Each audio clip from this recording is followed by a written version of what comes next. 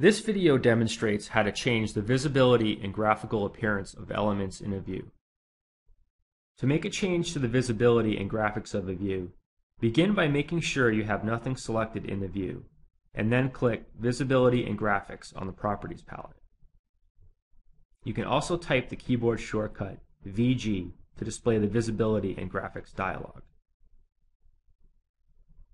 In the dialog, the tabs show how element categories are grouped into model categories, annotation categories, and imported categories.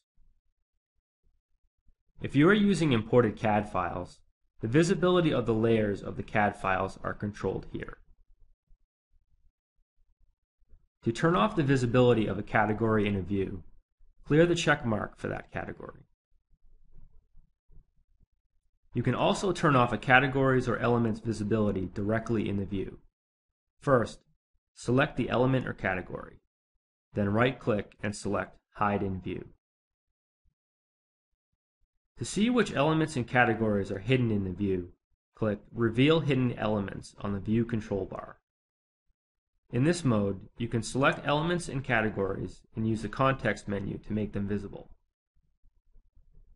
Another way to change the graphics of a category or element is by using the visibility overrides. First, select an element in the view. Then right-click and select Override Graphics in View to open the Override dialog and then make changes to the appearance of the element.